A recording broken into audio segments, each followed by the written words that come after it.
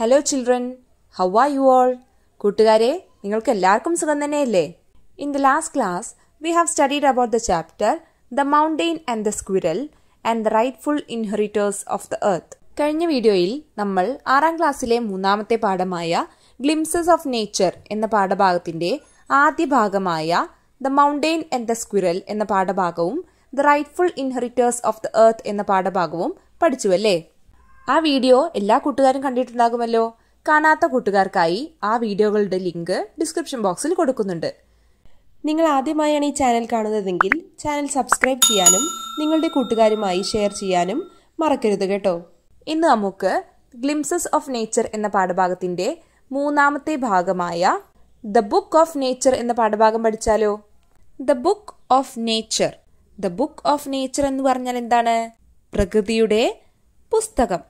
Letters from a father to his daughter is a collection of letters written by Jawaharlal Nehru to his 12 year old daughter Indira in the summer of 1928. At that time, Nehru was in Allahabad and Indira was in Mussoorie. Nehru used to write letters from time to time to Indira. The Book of Nature is one of those letters.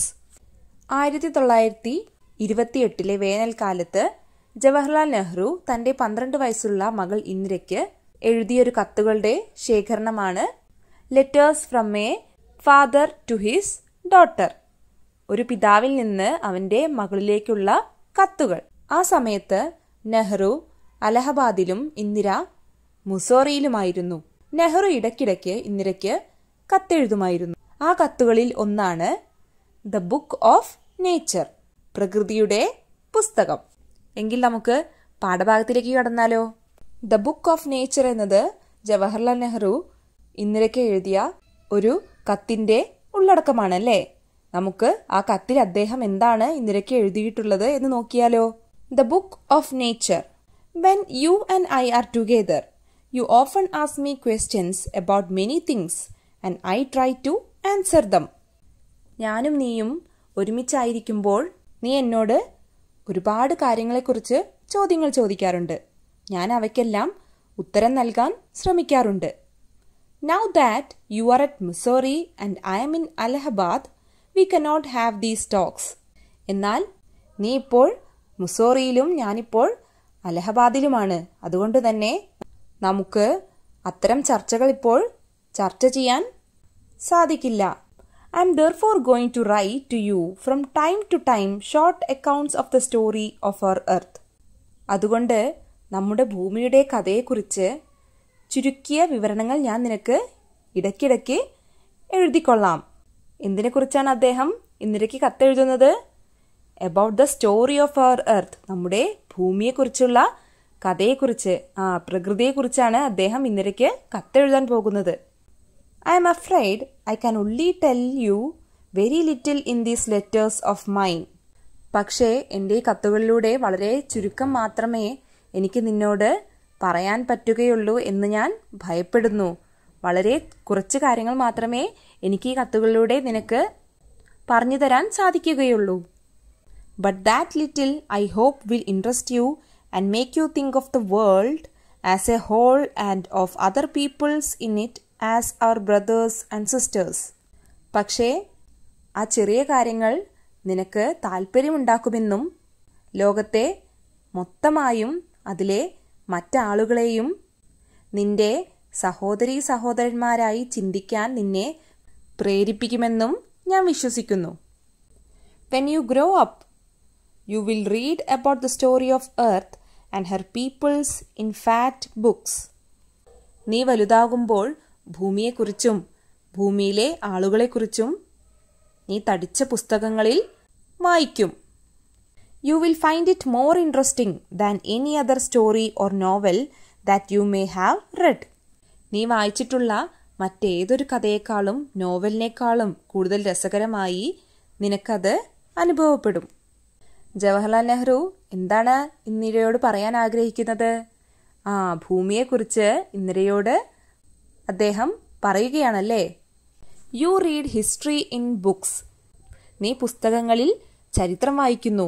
But in old times when men did not exist surely no books could have been written എന്നാൽ പണ്ടത്തെ കാലത്ത് മനുഷ്യന്മാരൊന്നും ഭൂമിയിൽ ഇല്ലാതിരുന്ന സമയത്ത് ബുക്കുകളൊന്നും എഴുതിയിട്ടുണ്ടായിരുന്നില്ല.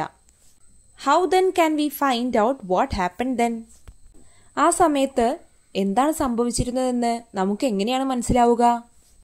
We cannot nearly sit down and imagine everything നമുക്ക് വെറുതെ ഇരുന്ന് എല്ലാം ചിന്തിച്ചു കൂട്ടാൻ സാധിക്കില്ല.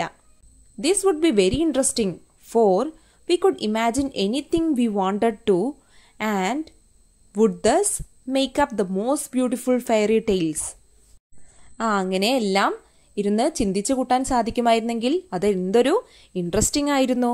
കാരണം നമുക്ക് വേണ്ട രീതിയിലെല്ലാം നമുക്ക് ഇഷ്ടമുള്ളതുപോലെ മനോഹരമായ കഥകൾ നമുക്ക് ആലോചിച്ച് കൂട്ടാമായിരുന്നു. But this need not be true as it would not be based on any facts that we had seen ആ നമ്മൾ ആലോചിച്ചു കൂട്ടി ഉണ്ടാക്കിയ കഥയായതുകൊണ്ട് തന്നെ അതിൽ സത്യാവസ്ഥകളൊന്നും സത്യങ്ങളൊന്നും ഫാക്ട്സ് ഒന്നും ഉണ്ടാകില്ല.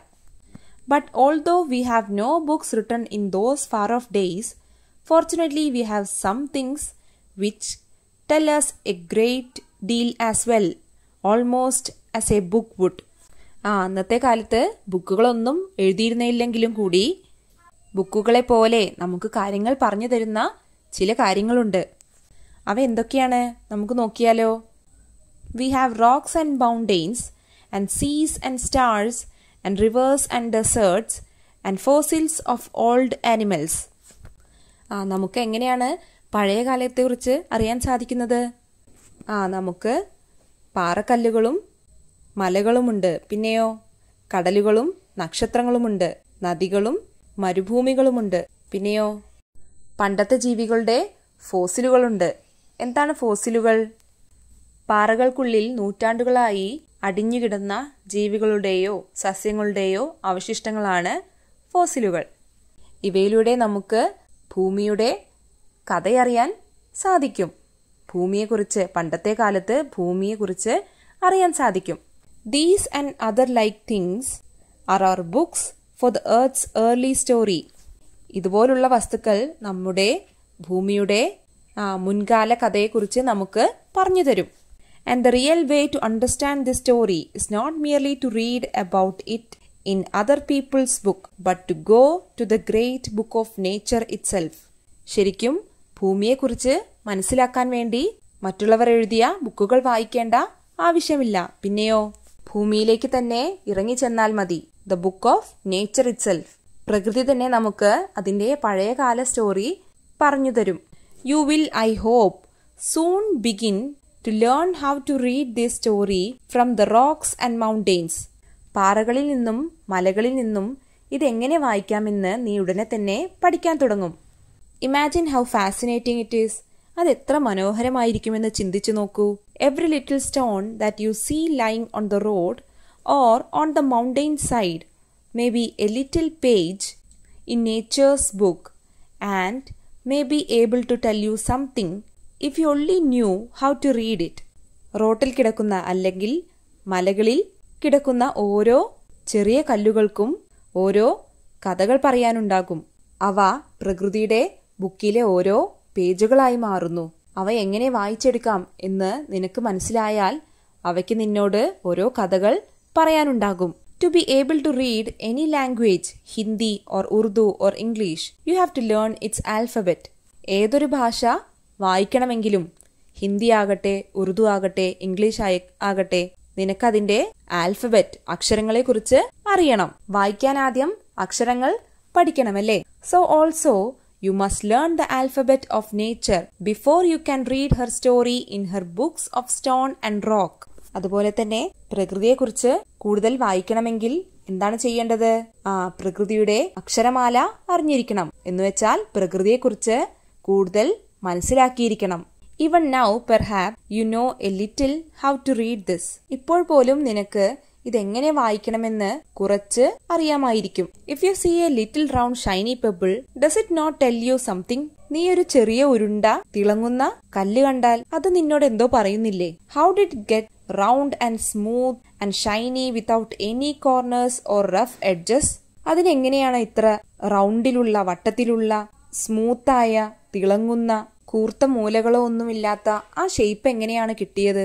If you break a big rock into small bits each bit is rough and has corners and round edges ഒരു വലിയ പാറക്കല്ല് പൊട്ടിച്ചു നോക്കിയിട്ടുണ്ടെങ്കിൽ അതിന്റെ ഓരോ കഷ്ണവും വളരെ പരുപരുത്ത ഷാർപ്പ് എഡ്ജസ് ആയിരിക്കും ഉണ്ടായിരിക്കുക അല്ലെ? കൂർത്ത എഡ്ജസ് ആയിരിക്കും അവയ്ക്കുണ്ടായിരിക്കുക. It is not at all like a round smooth pebble ആ ഒരു വലിയ പാറക്കല്ല് പൊട്ടിച്ചു കിട്ടുന്ന കഷ്ണം ഒരിക്കലും സ്മൂത്ത് ആയിട്ടുള്ള റൗണ്ട് ആയിട്ടുള്ള ഒരു ചെറിയ കല്ലായിരിക്കില്ല. How then did the pebble become so round and smooth and shiny പിന്നെ എങ്ങനെയാണ് ആ കല്ല് ഇത്രയും ഉരുണ്ടതും സ്മൂത്ത് ആയിട്ടുള്ളതും തിളങ്ങുന്നതുമായത്? It will tell you it story if you have good eyes to see and ears to hear it നിനക്ക് കാണാൻ നല്ല കണ്ണുകളും കേൾക്കാൻ നല്ലൊരു കാതുമുണ്ടെങ്കിൽ അത് നിനക്ക് അതിന്റെ കഥ പറഞ്ഞു തരും.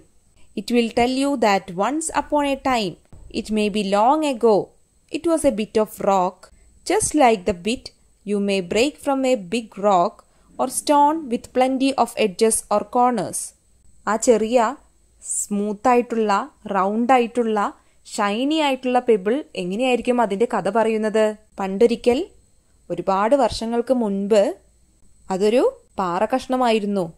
എങ്ങനെയുള്ള കഷ്ണം? ആ ഒരു വലിയ പാറയിൽ നിന്നും പൊട്ടിച്ചാലുണ്ടാകുന്ന കൂർത്ത എഡ്ജുകളുള്ള ഒരു പാറയുടെ കഷ്ണമായിരുന്നു അത്. Probably it rested on some mountain side ഒരു പക്ഷേ അത് ഏതെങ്കിലും മലഞ്ചെരിവിലായിരിക്കും വിശ്രമിച്ചിട്ടുണ്ടായിരിക്കുക. Then came the rain and washed it down to the little valley where it found a mountain stream which pushed it on and on till it reached a little river ആ ഒരു വലിയ പാറയിൽ നിന്നും പൊട്ടിയ എഡ്ജസ്റ്റുകളെല്ലാം വളരെ കൂർത്ത ആ കല്ല് ഒരു മലയുടെ ചെരുവിൽ കിടക്കുകയായിരുന്നു. അപ്പോഴാണ് മഴ വന്നത്. ആ മഴ എന്താണ് ചെയ്തത്? ആ മഴ ആ കല്ലുമായി ഒരു ചെറിയ അരുവിയിലേക്ക് ഒഴുകി. എന്നിട്ടോ ആ പർവതത്തിൽ നിന്നും വരുന്ന അരുവിയിലൂടെ ഒഴുകി ഒഴുകി അതെവിടെ എത്തി? ഒരു ചെറിയ നദിയിൽ എത്തി. And the little river took it to the big river ആ ചെറിയ നദിയിൽ നിന്നും ആ കല്ല് പിന്നെ എവിടേക്ക് പോയി? ഒരു വലിയ നദിയിലെത്തി. And all the while it rolled at the bottom of the river and its edges were worn away ആ ഈ ചെറിയ കല്ല് അരുവിയിലൂടെയും പുഴയിലൂടെയും എല്ലാം ഒഴുകിക്കൊണ്ടിരിക്കുമ്പോൾ അതിനെന്താണ് സംഭവിച്ചത്? അതിന്റെ അറ്റങ്ങളെല്ലാം ആ മിനുസമായി തീർന്നു. തിളക്കമുള്ളതായി. അതിന്റെ അരികുകളെല്ലാം നശിച്ചുപോയി. അതിന് തിളക്കവും മാർദ്ദവവും വന്നു. Thus the rough surface was made smooth and shiny അങ്ങനെയാണ് ആ പരുക്കൻ ആ പ്രതലം മിനുസമാർന്നതും തിളക്കമാർന്നതുമായി മാറിയത്. So it became the pebble that you see അങ്ങനെയാണ് നീ ഇപ്പോൾ കാണുന്ന പോലുള്ള ഉരുളൻകല്ലായി ഇത് മാറിയത്. Somehow the river left it behind and you found it എങ്ങനെയോ നദി അത് ഉപേക്ഷിച്ചു. നീ അത് കണ്ടെത്തി. If the river had carried it on it would have become smaller and smaller till at last it became a grain of sand and joined its brothers at the seaside to make a beautiful beach where little children can play and make castles out of the sand. നദി അത് ഉപേക്ഷിച്ചതുകൊണ്ട് നിനക്കത് കിട്ടി. അല്ലായിരുന്നെങ്കിൽ നദി അതുമായി വീണ്ടും മുന്നോട്ട് പോകുമായിരുന്നു. എന്നിട്ട് ആ കല്ല് വീണ്ടും വീണ്ടും ചെറുതായി ചെറുതായി മാറുമായിരുന്നു. എന്നിട്ട് അവസാനം അതൊരു മണൽത്തരിയായി മാറുമായിരുന്നു. എന്നിട്ടോ? കടൽ തീരത്ത് തന്റെ സഹോദരങ്ങളുമായി ചേർന്ന് മനോഹരമായ ഒരു കടൽ തീരം തന്നെ ഉണ്ടായേനെ. അവിടെ കൊച്ചുകുട്ടികൾക്ക് കളിക്കാനും മണലിൽ കോട്ട കെട്ടാനും നിർമ്മിക്കാൻ സാധിച്ചേനെ. ഈ മണൽത്തരികൾ ഉപയോഗിച്ച് ചെറിയ കുട്ടികൾ മണലിൽ കോട്ട കെട്ടി കളിച്ചേനെ അല്ലേ? If a little pebble can tell you so much how much more could we learn from all the rocks and mountains and many other things we see around us ഒരു ചെറിയ ഉരുളൻ കല്ലിന് നിന്നോട് ഇത്രയധികം കാര്യങ്ങൾ പറയാൻ കഴിയുമെങ്കിൽ പാറകൾക്കും പർവതങ്ങൾക്കും നമുക്ക് ചുറ്റും കാണാൻ കഴിയുന്ന മറ്റു നിരവധി വസ്തുക്കൾക്കും നമ്മളോട് എന്തൊക്കെ പറയാനുണ്ടാകും? അവയിൽ നിന്ന് നമുക്ക് എന്തെല്ലാം കാര്യങ്ങൾ പഠിക്കാൻ സാധിക്കും? പ്രകൃതിയുടെ അത്ഭുതങ്ങളെക്കുറിച്ചാണ് ജവഹർലാൽ നെഹ്റു ഇന്ദിരയോട് പറയാൻ ആഗ്രഹിക്കുന്നതല്ലേ? ഒരു വലിയ കഷ്ണം പാറയിൽ നിന്ന് നമ്മൾ കാണുന്ന ഉരുളൻ കല്ല് മിനുസമുള്ള മാർദ്ധവമായ ഉരുളൻകല്ലായി മാറിയ കഥ ജവഹർലാൽ നെഹ്റു എത്ര മനോഹരമായാണ് ഇന്ദിരാഗാന്ധിയോട് പറയുന്നത് അല്ലേ ഇതുപോലെ പ്രകൃതിയിൽ നിന്ന് നമുക്ക് എന്തെല്ലാം പഠിക്കാനുണ്ട്? ഇനിയും ഒരുപാട് നമുക്ക് ചുറ്റും കാണുന്ന ഒരുപാട് വസ്തുക്കളിൽ നിന്ന് നമുക്ക് ഒരുപാട് കാര്യങ്ങൾ പഠിക്കാൻ സാധിക്കും. പ്രകൃതിയെ സൂക്ഷ്മമായി വീക്ഷിച്ചാൽ നമുക്ക് ഒരുപാട് കാര്യങ്ങൾ കാണാനും പ്രകൃതിയിൽ നിന്ന് പഠിക്കാനും സാധിക്കുമെന്നാണ് ജവഹർലാൽ നെഹ്റു പറയാൻ ആഗ്രഹിക്കുന്നത്. നമുക്ക് ഈ പാഠത്തിലെ ക്വസ്റ്റ്യൻസിലേക്ക് പോയാലോ? What is the author trying to tell his daughter ഇതിലെ എഴുത്തുകാരൻ ആരാണ് എഴുത്തുകാരൻ? ആ നെഹ്റു. എന്താണ് അദ്ദേഹത്തിന്റെ മകളായ ഇന്ദിരയോട് പറയാൻ ആഗ്രഹിക്കുന്നത്? Nehru is trying to tell his daughter about the story of our earth Nehru എന്താണ് അദ്ദേഹത്തിന്റെ മകളോട് പറയാൻ ആഗ്രഹിക്കുന്നത്? ആ ഭൂമിയുടെ കഥയാണ്. ഭൂമിയെക്കുറിച്ചാണ് അദ്ദേഹത്തിന്റെ മകളോട് നെഹ്റു പറയാൻ ആഗ്രഹിക്കുന്നത്. Nehru says that he cannot have talks with his daughter why Nehru പറയുന്നുണ്ട് അദ്ദേഹത്തിന് തന്റെ മകളോട് സംസാരിക്കാൻ കഴിയില്ല എന്നതുകൊണ്ട്. എന്തുകൊണ്ടാണ്?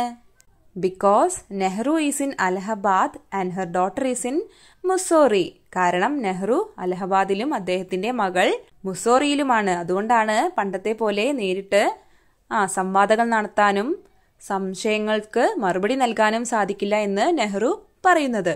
Why did Nehru say that Indira would read about the earth in fact books എന്തുകൊണ്ടാണ് നെഹ്റു ഇന്ദിര ഭൂമിയെക്കുറിച്ച് തടിച്ച പുസ്തകങ്ങളിൽ വായിക്കുമെന്ന് പറഞ്ഞിട്ടുള്ളത്? Because the story of the earth is available in many books when she grows up she will definitely refer to such books as she is interested in reading കാരണം ഭൂമിയെക്കുറിച്ചുള്ള കഥകൾ ഒരുപാട് വലിയ ബുക്കുകളിൽ ലഭ്യമാണ്. അവൾക്ക് വായിക്കാൻ താല്പര്യമുള്ളത് കാരണം തീർച്ചയായും അത്തരം ബുക്കുകൾ റഫർ ചെയ്യുമെന്ന് നെഹ്റുവിന് അറിയാം.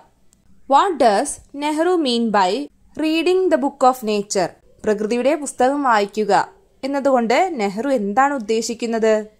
Reading nature means observing nature by observing the nature we can understand the secrets and story of our nature പ്രകൃതിയെ വായിക്കുക എന്നതുകൊണ്ട് ഉദ്ദേശിക്കുന്നത് പ്രകൃതിയെ നിരീക്ഷിക്കുക എന്നതാണ്. പ്രകൃതിയെ നിരീക്ഷിച്ചു കഴിഞ്ഞാൽ നമുക്ക് പ്രകൃതിയെക്കുറിച്ചുള്ള രഹസ്യങ്ങളും അവയുടെ കഥകളും എല്ലാം മനസ്സിലാക്കാൻ സാധിക്കും. പ്രകൃതിയെക്കുറിച്ച് നമുക്ക് കൂടുതൽ അറിയാൻ സാധിക്കും. Pick out the sentences that show Nehru's love for nature നെഹ്റുവിന് പ്രകൃതിയോടുള്ള സ്നേഹം കാണിക്കുന്ന വരികൾ ഏതെല്ലാമാണ്? അവ തിരഞ്ഞെടുത്തെഴുതൂ. Each little stone that you see lying on the road or on the mountain side may be a little page in the nature's book or may be able to tell you something if you only knew how to read it താഴെ റോട്ടിലോ അല്ലെങ്കിൽ മലയുടെ ചെരുവിലോ കിടക്കുന്ന ഒരു ചെറിയ കല്ലിന് വരെ നിന നിന്നോട് ഒരുപാട് കാര്യങ്ങൾ പറയാനുണ്ടാകും. അവ പ്രകൃതിയുടെ ബുക്കിൽ ഒരു പേജ് തന്നെ ആണ്.